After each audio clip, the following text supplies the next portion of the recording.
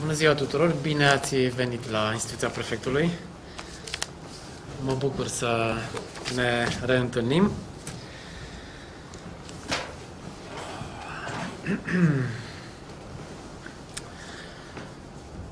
Suntem într-o uh, situație epidemiologică destul de interesantă. De fapt, cred că este o întrebare, sau mă rog, cred că ar trebui să, să stăm un pic să reflectăm, să ne punem întrebarea dacă acest moment al pandemiei este unul bun, este un moment în care trebuie să continuăm să ne relaxăm sau dacă este un moment care ar trebui să ne facă să reflectăm un pic mai mult asupra lui. Spun că este o situație interesantă pentru că, pe de o parte, da, Cifrele sunt bune în acest moment. Rata de incidență este scăzută, este cea mai scăzută rată de incidență din, uh, de când se calculează, de fapt, uh, rata de incidență. Dar uh, lucrul acesta nu ar trebui să însemne că pandemia s-a terminat sau că ar trebui să tratăm lucrurile cu o lejeritate mare. Trecem în revistă puțin cifrele și apoi le interpretăm. Uh, în acest moment, uh, spuneam, deci rata de incidență în județul Argeș este 0,54. Avem 11 uh, localități care sunt, să zic așa, cu rata de incidență peste 1 la mie. Altfel, Cuca este în scenariul roșu, 4,65, singura localitate care rămâne în continuare în scenariul roșu, pentru că mă rog, sunt câteva cazuri acolo, populația este redusă ca număr și atunci procentul este un pic uh, mare. Și Dobrești cu 1,71, deci uh, pe galben. În rest, toate celelalte conform scenariului clasic sunt pe verde, dar uh, Știți că la școli scenariile sunt puțin diferite. Rata de incidență pentru scenariul galben se calculează de la 1 la 1000. Deci peste 1 la 1000 avem 11 localități în acest uh, moment. 367 sunt uh, toate cazurile active în acest moment, în uh, ultimele 14 zile. Deci, practic, în județ avem infectate 367 de persoane, ceea ce este o cifră foarte scăzută. Mă îngrijorează însă situația din ATI, care, din păcate, nu este deloc una, una bună. Uh, în general, aproape toate locurile din ATI sunt pline și continuă să rămână așa. Se eliberează câteva locuri, dar uh, în continuare sunt foarte mulți acolo. Sunt foarte mulți pacienți care uh, sunt de foarte mult timp în ATI, se vindecă foarte greu, deși la nivelul județului, spuneam, rata de incidență este scăzută, deci virusul nu mai este atât de, de răspândit, dar totuși uh, acest uh, lucru nu se regăsește totuși în ATI. Lucrul acesta ar trebui să fie îngrijorător, pentru că uh, în eventualitatea în care, Doamne ferește, la un moment dat, poate că situația s-ar schimba și cazurile ar începe să crească, există în continuare o presiune foarte mare pe ATI. Iar lucrul acesta nu este deloc explicabil în mod, în mod normal. Pentru că, în general, în uh, spital avem locuri suficiente. Și sunt locuri suficiente și pentru COVID și pentru non-COVID. Lucrurile sunt foarte bune în acest moment. Numai că la ATI este o situație complicată care uh, e în măsură să ne îngrijoreze pentru că de uh, sau uh, practic locurile libere din ATI reprezintă cel mai bun indicator al nivelului epidemiei.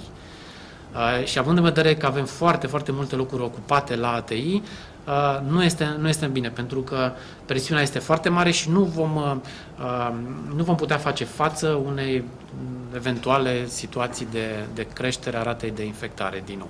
Asta este o problemă. De asta spuneam, pe de o parte cifrele sunt bune, dar totodată trebuie să fim foarte atenți și să încercăm să, să le interpretăm corect și să ajungem să le, să le înțelegem. Pe de altă parte, cel mai important uh, subiect în acest moment, sigur, reprezintă școlile. Da, am redeschis școlile și am avut speranța că putem scădea rata de incidență sub 0,5 înainte de a începe școala, școlile. Nu am reușit acest lucru, dar iată că la o săptămână și un pic de la începerea școlii, totuși rata de incidență se menține la un nivel uh, scăzut. Uh, însă, în acest moment, numărul uh, elevilor infectați crește. Astăzi avem 19 școli cu cazuri pozitive, elevi sau profesori.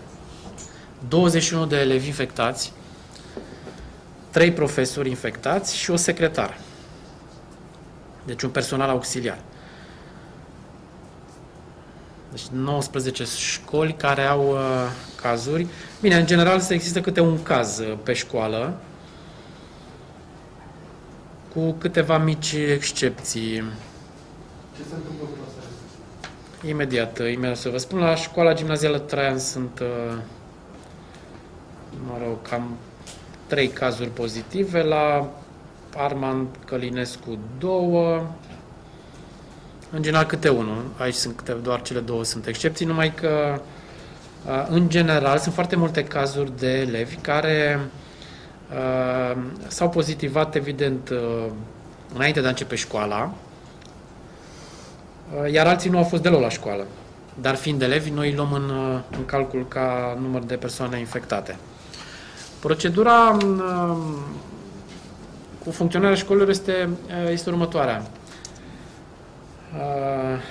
Uh, când o localitate intră în scenariu galben, deci peste 1 la mie, atunci se întrunește um, Consiliul de Administrație al școlii și analizează situația epidemiologică și vin cu propuneri, sigur împreună cu DSP, de continuarea scenariului verde, prezență fizică a elevilor sau diverse variante de de online. În nivelul învățământul preșcolar, dacă există un caz într-o grădiniță, grupa respectivă intră în uh, online.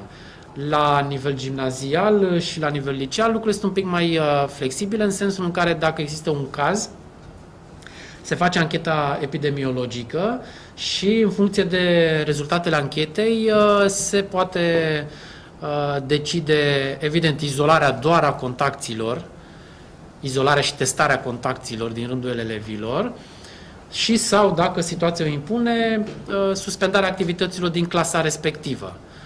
Uh, sigur, luându-se toate celelalte măsuri de, de precauție. Uh, deci, în acest moment, cam toate situațiile, regăsindu-se în școli gimnaziale sau licee, s-au făcut anchetele epidemiologice și s-au izolat doar Uh, copii respectiv pozitiv și uh, contacților uh, direcți. În general, spuneam, se testează colegii de clasă pentru care există acordul părinților pentru a se testa. Deocamdată, din, de exemplu, 29 de teste rapide efectuate pe contacti direcți colegi de clasă, unul singur a fost pozitiv, restul negativ.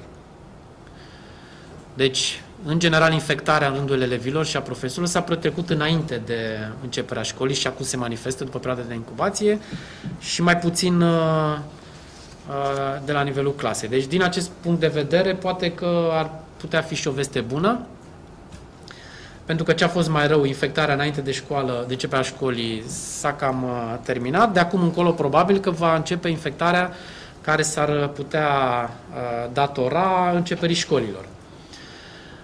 Dar, uh, uh, în general, uh, știm foarte bine, după atâta experiență de gestionare a pandemiei, că nu în școală se petrec infectările, ci în afara școlii. Infectarea se petrece în familie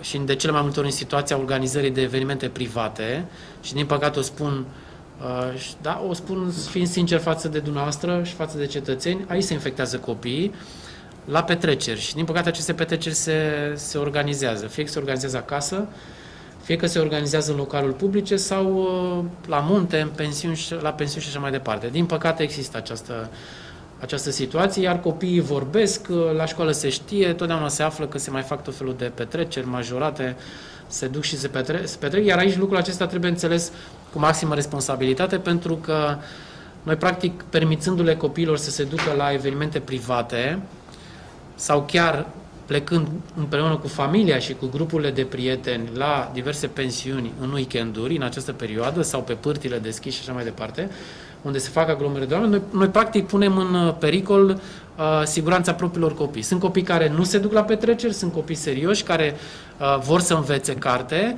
dar sunt puși în această situație de risc epidemiologic din cauza uh, părinților care își trimit copiii la astfel de petreceri. Uh, și din păcate ar trebui să fim, uh, nu știu, un pic mai responsabili în sensul acesta, pentru că școala nu e o chestiune care ține doar de profesor sau de inspectoratul școlar. Școala ține de noi toți. Până acum ne-am văitat că copiii uh, uh, nu pot merge la școală, că educația lor este afectată și adevărat așa este, iar acum când avem posibilitatea să ținem școlile deschise, noi ne ducem și organizăm evenimente private, petreceri, mergem la munte și practic, fără să ne dăm seama, punem uh, uh, școlile într-o situație foarte, foarte dificilă. Deci, practic, noi infectându-ne sau creând oportunități de infectare, noi vom închide școlile, nu vom avea ce să facem.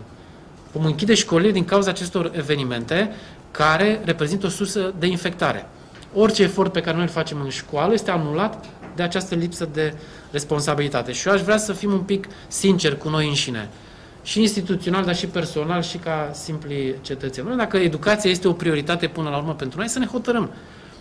Este o prioritate sau nu este o prioritate? Că tot timpul dăm vina pe alții că fie nu se investesc bani în educație, fie nu vrem să deschidem școlile, fie nu știu ce nu vrem să facem. În acest moment am făcut toate eforturile. Am scăzut rata de incidență, am luat tot felul de măsuri în afara școlii ca să ținem școlile deschise. Haideți să fim un pic responsabili, pentru că a, a, a da prioritate școlii, a considera educația o prioritate, asta se vede în faptele noastre, nu în vorbe. Vorbele nu înseamnă nimic, faptele contează. Cum ținem noi școala? Cum, cum acordăm prioritate educației? Cum, cum considerăm că educația copiilor noștri este vitală? Neexpunându-i riscurilor de infectare, ținându-i acasă, ducându-i la școală și atât. Eliminând toate aceste petreceri, eliminând toate chefurile, eliminând toate plecările în locurile aglomerate. Putem să facem asta, dar trebuie să înțelegem că asta ține de noi toți. Nu ține de prefectură, nu ține de școală însăși, nu ține de inspectorat, nu ține decât de noi să facem lucrul acesta. Pentru că altfel, uh, în afara școlii, noi am luat toate măsurile înarge. Suntem unul dintre puținele județe care am insistat și am pus în practică programul defalcat al școlilor. Școlile, elevii se duc la școală de la 7 și jumătate până la 8 și jumătate, o oră, se distribuie în tot orașul, în tot județul, eliminându-se aceste aglomerări în uh, uh mijloace de transport public și cu surprindere constat, plăcut, uh, surprins că nu se mai face nici aglomerația în fața școlilor. Poliția, poliția locală este prezentă, oamenii au înțeles, își lasă copiii, nu se mai fac aceste aglomerări. M-am bucurat să văd că, în sfârșit, primăria Pitești a întrunit Comisia de, de, de Circulație și au pus în practică toate solicitările pe care prefectura, prin Comitetul Județean pentru Situații de Urgență, cu sprijinul poliției, le-a identificat ca măsuri de fluidizare a traficului. Mă bucur să văd că la insistențele și la mobilizarea realizată de către prefectură, în sfârșit s-au aplicat soluții de fluidizare a traficului. Lucrul acesta este un lucru excelent de care noi suntem mândri și felicit pe cei de la Consiliul Local, pe la primărie, din comisia respectivă, care au înțeles și au pus în practică imediat aceste lucruri. De asemenea... Intervenția poate nepoliticoasă, să meargă cineva. Eu o săptămână am urmărit dar zi de zi ce se întâmplă la școala 11 în Crăve. Nu se poate circula pe alea constructorul la ora prânzului când copiii se șeză la E dezastru. Asta ca o paralel la ce s-a afirmat că la școli nu mai sunt. Nu e, nu e așa.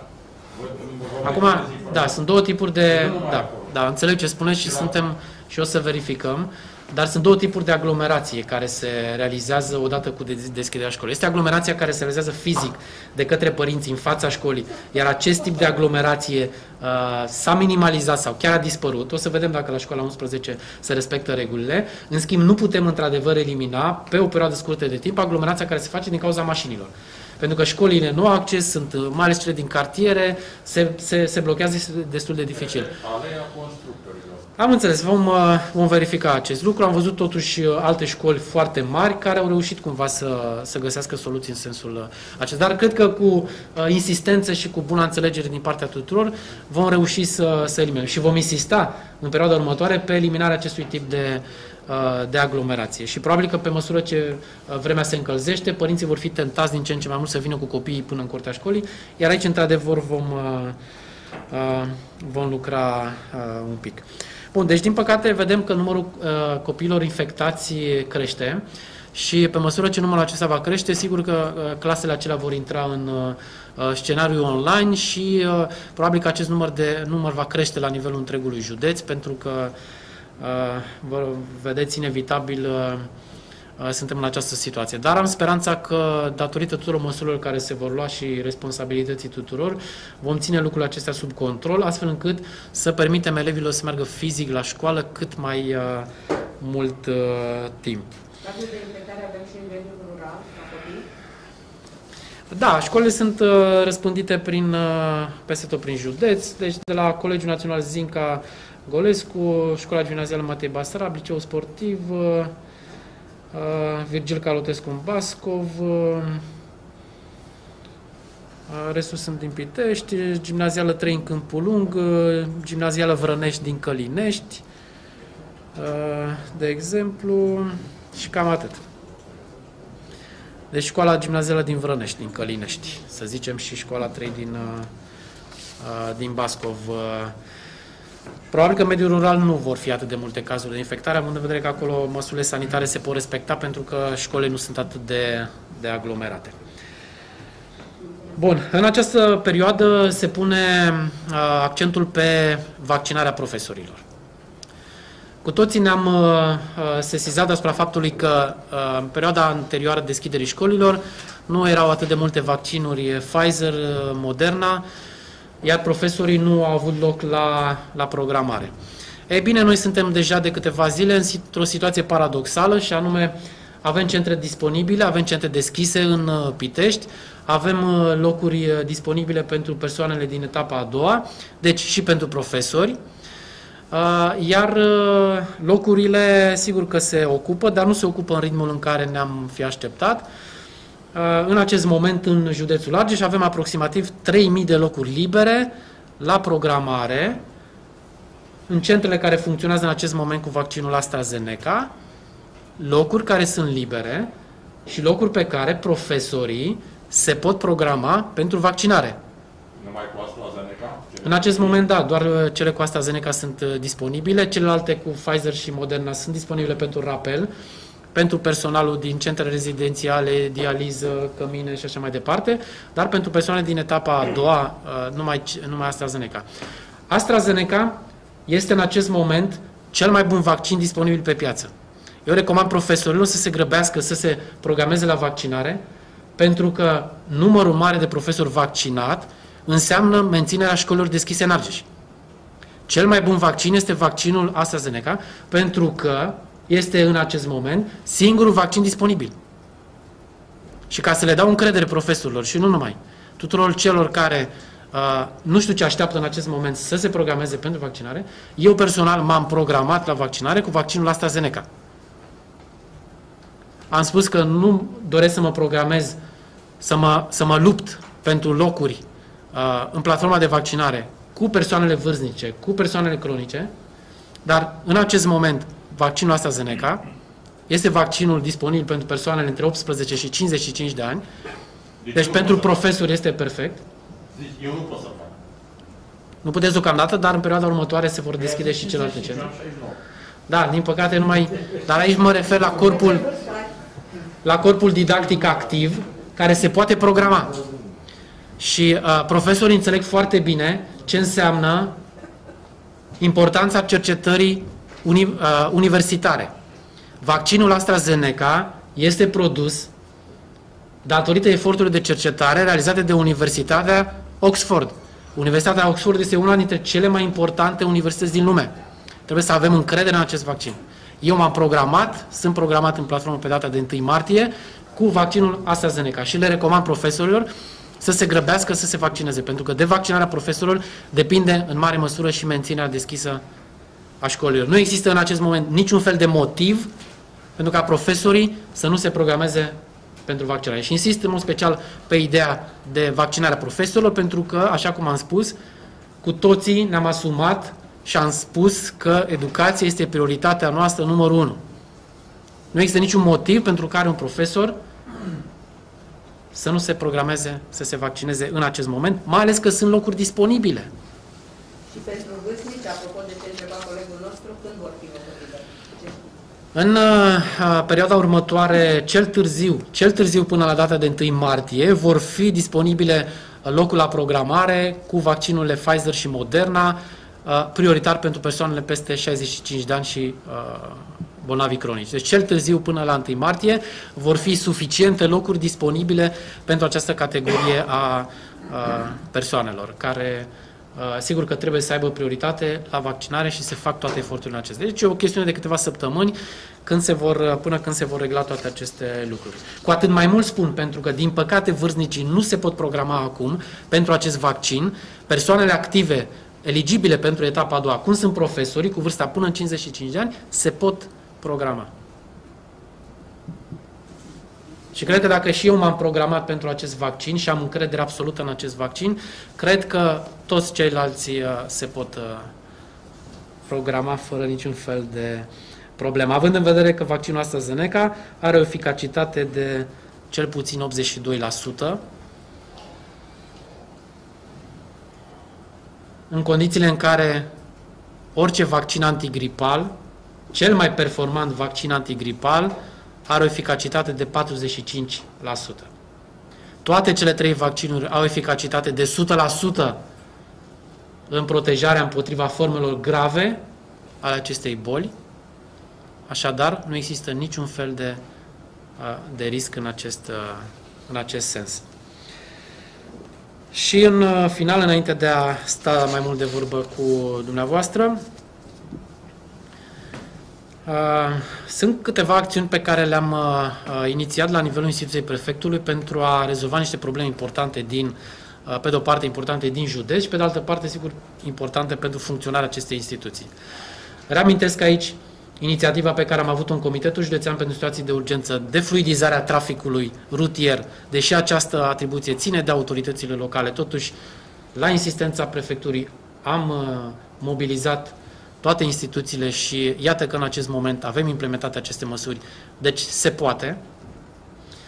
Uh, o altă inițiativă importantă pe care am avut-o uh, și care va rezolva o problemă care trenează de peste 30 de ani în județul Argeș, se referă la toaletarea arborilor de pe drumul Pitești-Băbana. Este o problemă foarte importantă pe care noi am avut-o până acum în județul Argeș, de care nu s-a ocupat nimeni în toată această perioadă, nu s-a ocupat nimeni în sensul de a o rezolva, că altfel sigur că toate instituțiile cu atribuții au avut întotdeauna, uh, au făcut câte ceva în sensul acesta, dar niciodată nu au făcut ceea ce trebuie. Probabil că la sfârșitul acestei săptămâni uh, această acțiune se va finaliza, astfel încât se va putea circula în siguranță pe drumul Pitești-Băbana, indiferent de condițiile meteo. Mi-aduc aminte doar că la ultima zăpadă, Uh, moment care a și uh, declanșat această insistență din partea mea de a aduce și a pune la aceeași masă toate aceste instituții care își pasau uh, atribuțiile și responsabilitățile de la una la alta. Numai într-o după amiază au căzut șase arbori la o simplă zăpadă, care nici măcar nu s-a depus mai mult de, erau 3-4 cm de zăpadă și au căzut șase arbori într-o singură după amiază. Și am avut noroc că nu uh, au fost afectate uh, persoane în sensul acesta. Și am spus, această situație nu se mai poate, nu mai poate continua, trebuie să o rezolvăm. Și mă bucur că lucrul acesta se va rezolva până la sfârșitul acestei uh, săptămâni. Apoi o altă inițiativă pe care am avut-o, dar asta ține sigur strict de funcționarea instituției prefectului, este situația de la permise. De asemenea, o situație care, din păcate, trenează într-un mod uh, lamentabil de 30 de ani, tot așa, din diverse motive nu s-au găsit soluții. Uh, Uh, este, este o situație foarte dificilă, căutăm soluții, vă asigur că în fiecare zi și noapte aici se discută, se caută soluții pentru îmbunătățirea, îmbunătățirea activității acestui serviciu. Este foarte complicat, dar uh, îi vom da de capăt până la urmă. Controlele la școlile de șeferi au început? Am, uh, da, am creat o comisie mixtă, am implicat toate instituțiile responsabile, cu voia sau fără voia lor. Am făcut un plan pe următoarele 60 de zile.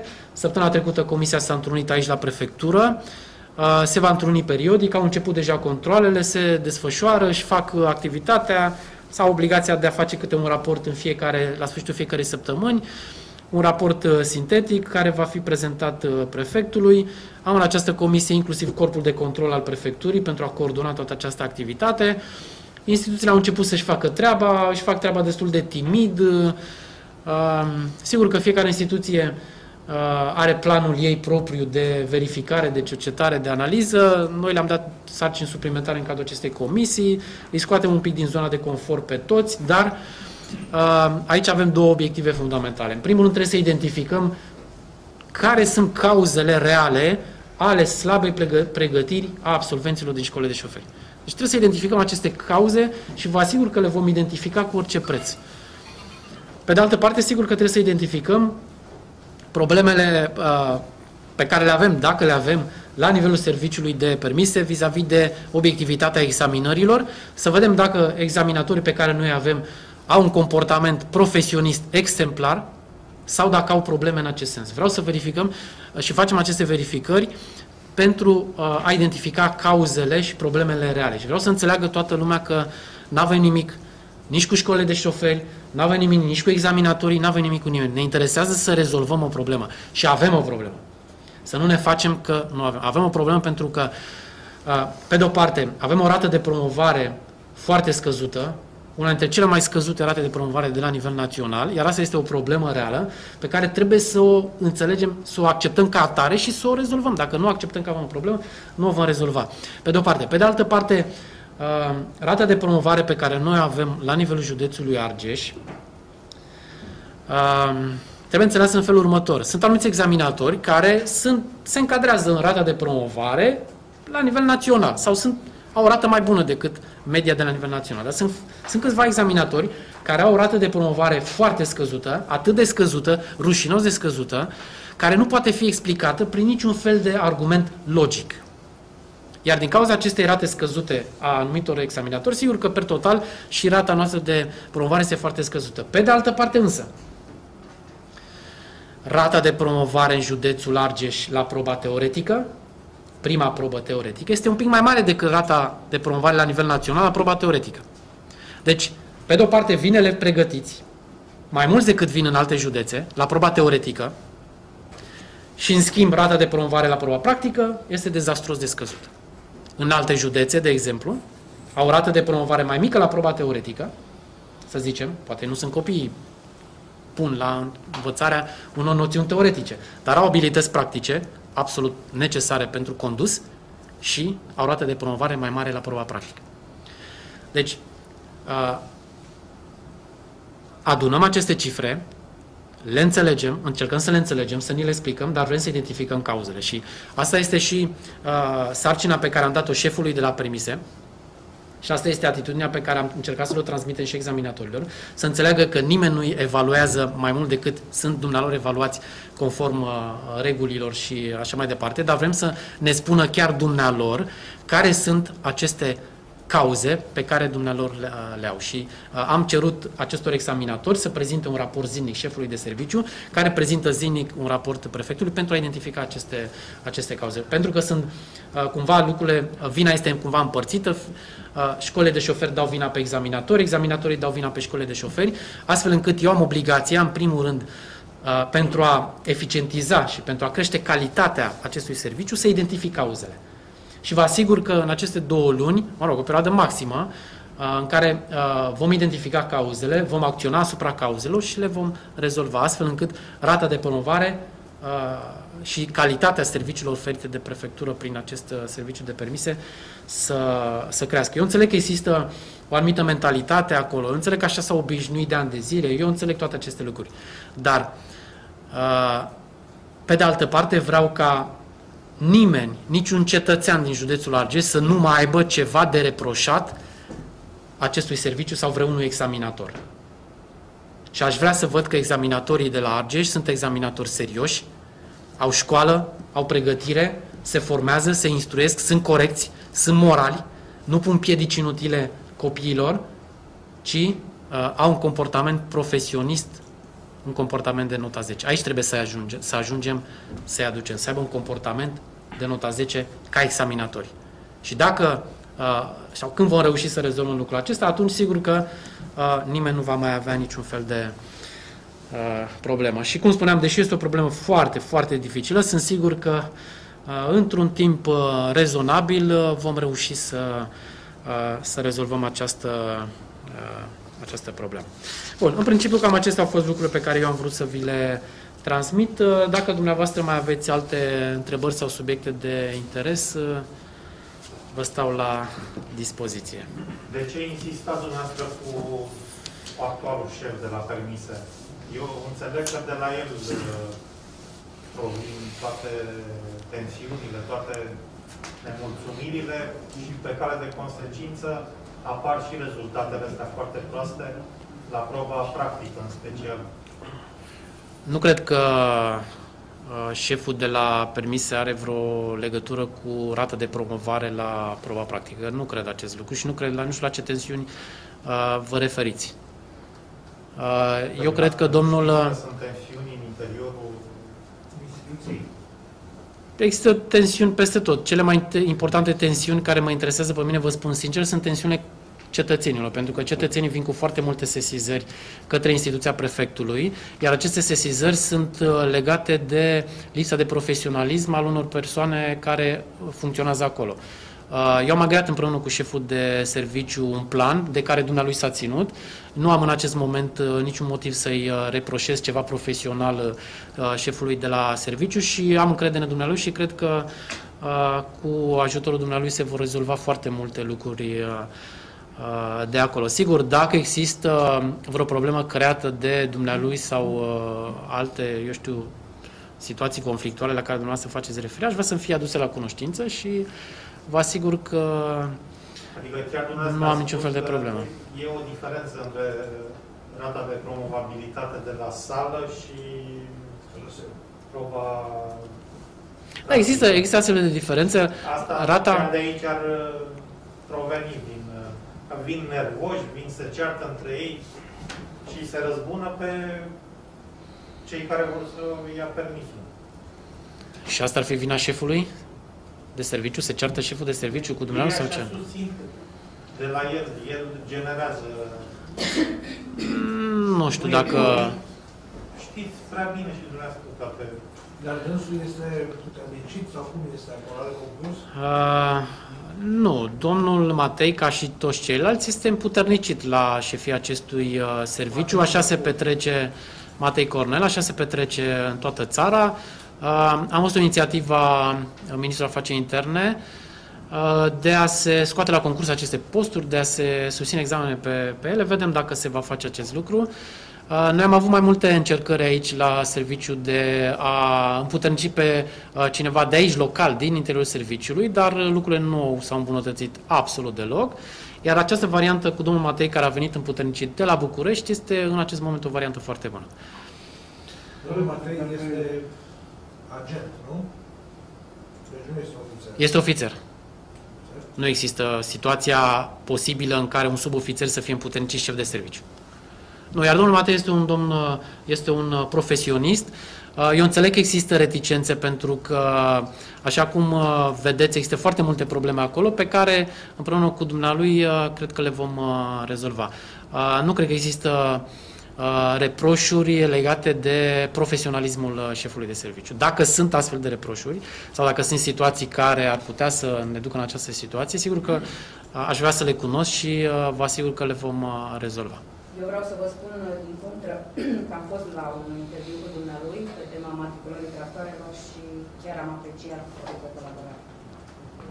Noi am reușit cu dumnealui să scurtăm foarte mult timpii, timpii de execuție pentru toate lucrările de acolo. Uh, Nu se mai așteaptă cu săptămânile pentru înmatriculări, pentru preschimbări de permise și așa mai departe. Singura problemă, într-adevăr, pe care o avem este cu așteptarea la programare pentru proba practică. Iar lucrul acesta este normal, pe de-o parte, pentru că avem foarte, foarte multe solicitări. Pe de altă parte, sunt foarte mulți copii care pică, iar asta uh, contribuie foarte mult la acest lucru și cea mai importantă problemă este numărul foarte scăzut de examinatori pe care noi avem în acest moment disponibili. Având puțin examinatori pentru proba practică, este normal ca perioada de așteptare să fie una foarte lungă. Dacă am dubla numărul de examinatori, de exemplu, teoretic, atunci s-ar jumătății și perioada de așteptare. Aceasta este singura problemă. De asta spuneam, trebuie să rezolvăm problema cu rata de promovare, pentru că, din cauza faptului că vin, pe de-o parte, copii nepregătiți, da? Pentru că vă spun un, un lucru, da, avem o rată mai mare uh, la, uh, de promovare la proba teoretică decât uh, la nivel național, dar totuși rata de promovare la prima probă teoretică este foarte scăzută. Este sub 50%. Deci asta înseamnă că jumătate dintre copiii care vin ca absolvenți ai școlilor de șoferi vin total nepregătiți. Și pentru că vin nepregătiți, ei aglomerează și umplu pozițiile de programare și din acest motiv se prelungește în acest moment până la 3-4 luni momentul de la uh, absolvirea, de la susținerea probei teoretice până la susținerea probei practice. Asta este problema. De asta spuneam, vreau să identificăm cauzele și la nivelul școlilor și la nivelul serviciilor pentru a le putea rezolva. Iar, aceasta, iar creșterea calității pregătirii elevilor la școlile de, de șoferi este o prioritate absolută și vom face lucrul acesta. Chiar în perioada, săptămâna aceasta mă voi întâlni cu reprezentanții școlilor de șoferi care au cei mai mulți elevi care obțin cele mai puține puncte la proba teoretică, de exemplu. Știți foarte bine, conform legii, un elev nu poate să intre, să vină să susțină, uh, să se programeze, să susțină proba teoretică la serviciul nostru de permise, dacă nu este examinat la școală, teoretic, și dacă nu obține 22 de puncte nu obții 22 de puncte la școală în, în timpul formării, nu ai voie, nu ai dreptul moral să vii să te programezi la permise, să aglomerezi locul aici și să pici și proba, bineînțeles, pentru că nu te-ai pregătit. Sunt foarte mulți copii, de exemplu, care obțin la proba teoretică, la prima probă teoretică, care ține exclusiv de pregătirea lor la școală, la școala de șoferi, obțin 7 puncte, 9 puncte, 10 puncte. Păi și dacă, dacă apeși automat pe răspunsul acela obții mai multe puncte. Deci e clar că sunt copii care vin nepregătiți. Nu este vina lor, ci este vina școlilor care nu-i pregătesc suficient de bine. Iar acest lucru nu mai poate continua.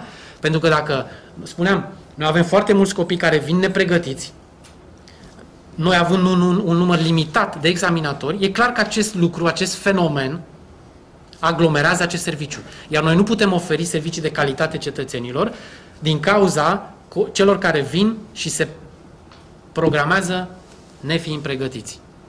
Iar asta ține numai de calitatea școlii. De asta am început acest demers de, de, de verificare și vă asigur că numai școlile care vor face uh, calitate vor rămâne uh, pe piață. Instructorul din cadrul școlilor de șoferi v-ați gândit să luați în calcul și cât mai rapid. Pentru că dacă odată să vă faceți timp așa, sâmbătă sau oricare altă zi, deși acolo te înspăimântă, deci noaptea minți. Hmm, da. E o adevărată mafie în rândul școlilor de șoferi. E de mult chestia asta. Cum spuneați cu elevii care să, ei trebuie să facă uh, să aibă o dovadă că au făcut și legislație rutieră. Absolut. Nu știu dacă 5% din ăștia care ajung să dea examen ajung să lucreze pe calculator sau să deschidă la școală. La școală. La sala de pregătire, nu. Comisia mixtă pe care noi avem acum, exact lucrul acesta le verifică la sede școală. Nu mașinile care sunt la bătaie să le bage pentru examen, propriu zis, pentru că de un elev să ia un milion, 100 de lei. Și, mă rog, așa. Și uitați-vă la ei, ăștia care învață pe ăștia mici, cât de pregătiți sunt. Eu am făcut unul odată, semne era să cadă din mașină cu elev, că era ușa deschis. Sus la stadion. Erați mai stătea și într-o puțin. Vorbea la telefon, adică trecând peste încălcarea tuturor normelor, eu zic că E ca și la liceu, ca și la facultate, trebuie să ai ce să înveți la anul respectiv. Ori 50% să nu zic, dar cred că sunt mai mulți, nu cred că au ce să învețe să plece de la ei o chestie pe plus pentru, pentru elevii respectivi.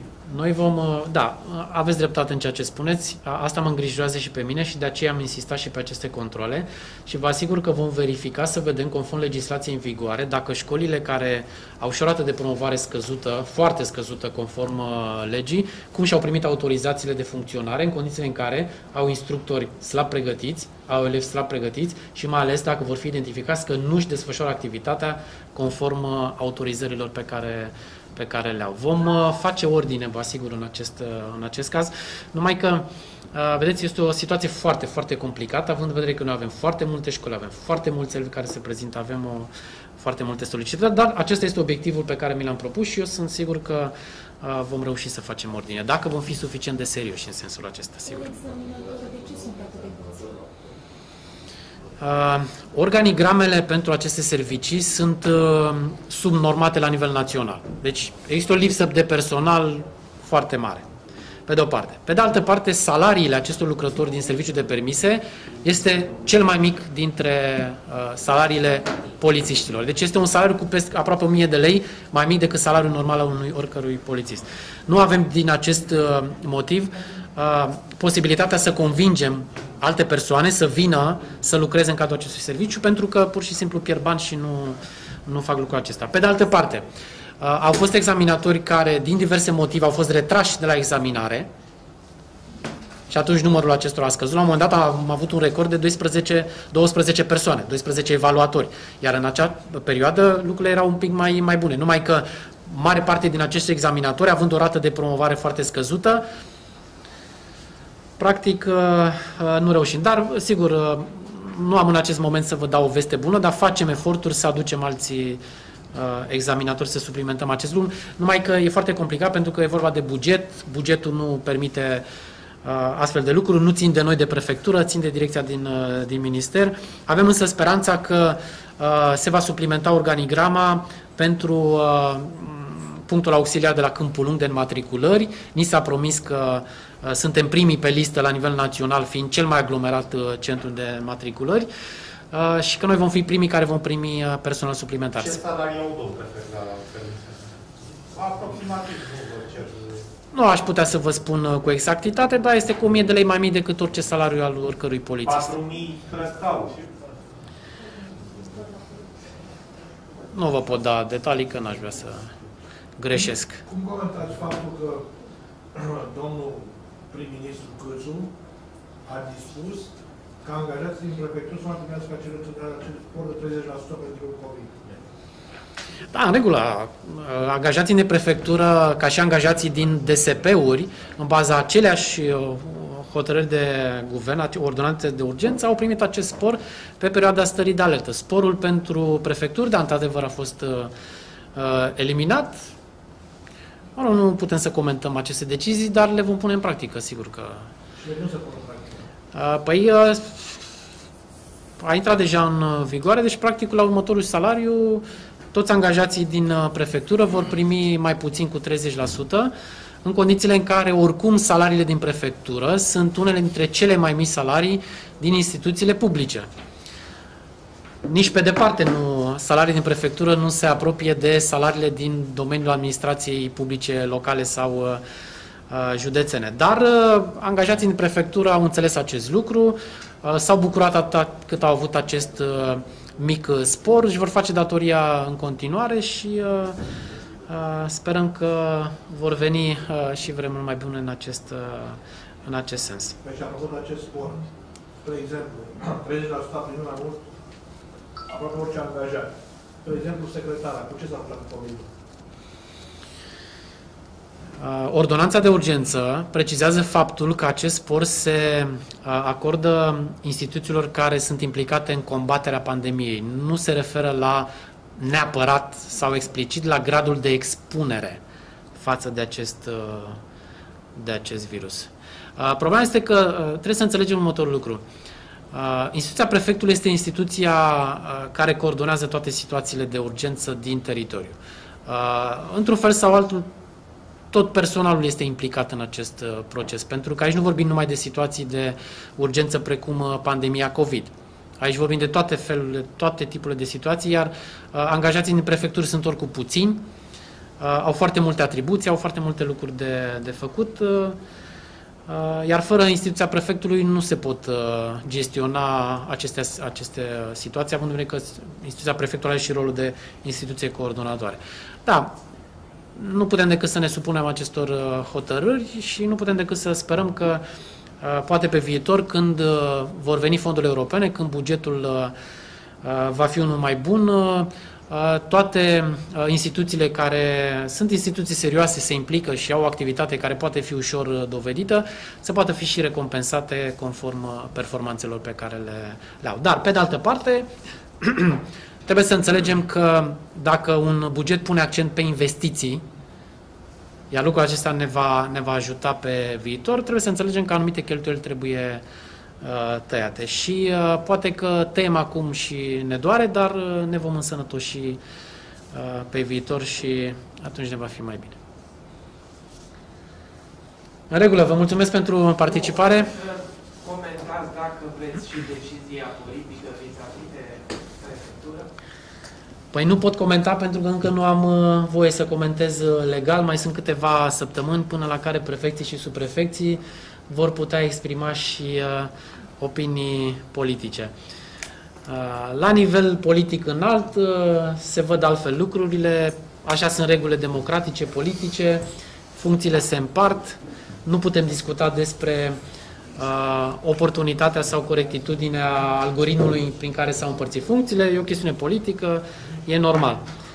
Uh, Dacă ar trebui să discutăm însă despre oportunitatea producerii unei schimbări, uh, atunci, într-adevăr, aici putem să, să discutăm. Dar, uh, deocamdată, uh, neavând prea multe atribuții politice sau chiar deloc, uh, uh, nu pot să comentez pe acest Nu e normal, uh, nu, cred că nu e subiect. normal. Dar ați putea să o faceți dumneavoastră.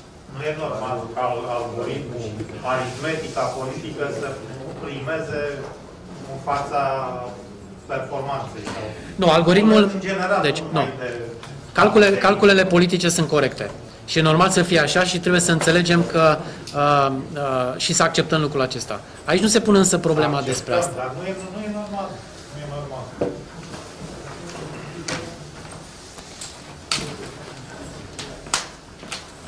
În regulă.